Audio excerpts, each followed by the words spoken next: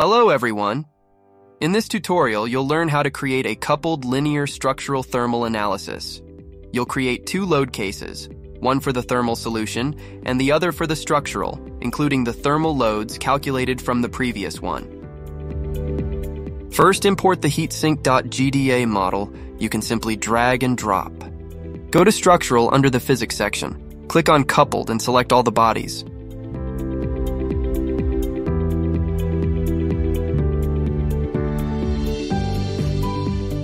Next, import the materials to use. Go to the Property browser. Right-click on Material and Import. Select the material template included. The template includes copper, aluminium, and insulator.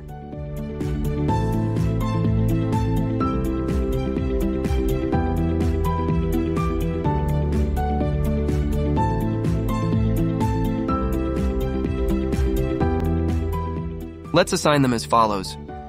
For fin aluminium, for the cylinder copper, and for insulator, assign insulator. Go to the solution browser and let's create our contacts. Use the auto contact tool to create tie contacts between all bodies.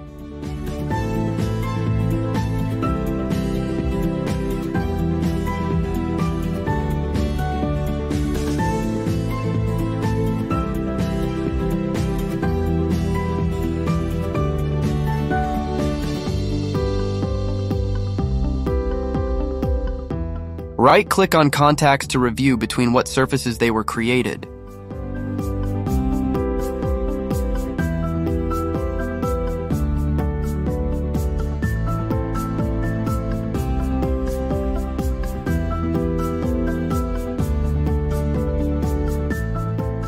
Create first load case. Right-click on coupled and select define using load case. Rename the subcase to thermal.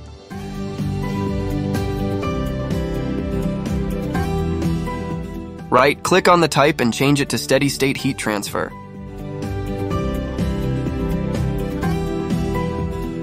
Let's apply a temperature on the interior of the cylinder. Set the temperature to 150 degrees Celsius.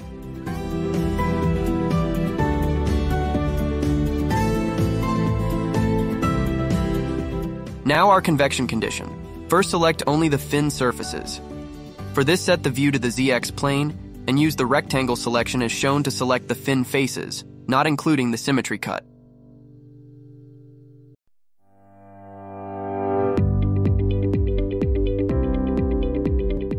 Set the temperature to 35 degrees Celsius and film coefficient of 1.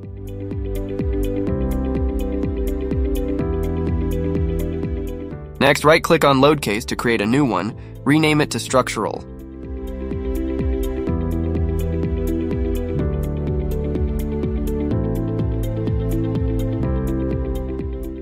Need to constrain our model. Select the fixed constraint.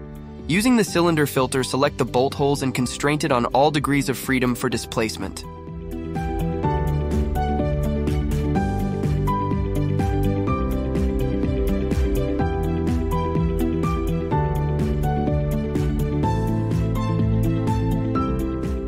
Next constraint is our symmetry condition. To automatically select all faces in the symmetry plane, select one of the bodies, right-click and go to Select. Faces by region. We need to set a plane type as reference. Go to Define Plane and use the Planar Face method. Select one surface on the symmetry plane. Select all bodies and hit OK. Open the Fix Constraint tool and fix only the degree of freedom on Z for displacement. Name it Symmetry.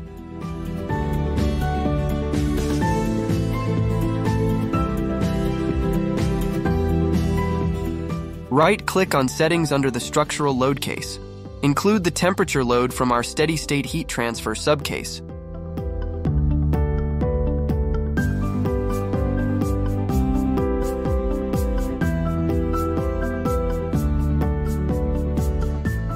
Right-click on any results and select Update to start the solution.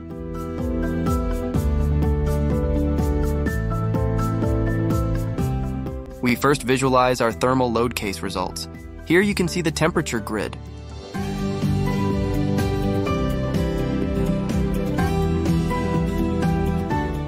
Click on Load Case to change it to structural. We can start visualizing our stress results. Change the component from XX to von Mises.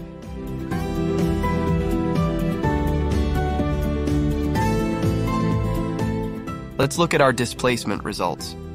You can start the animation to visualize the displacement. You can reduce the amount of scaling on the right of the time bar as shown.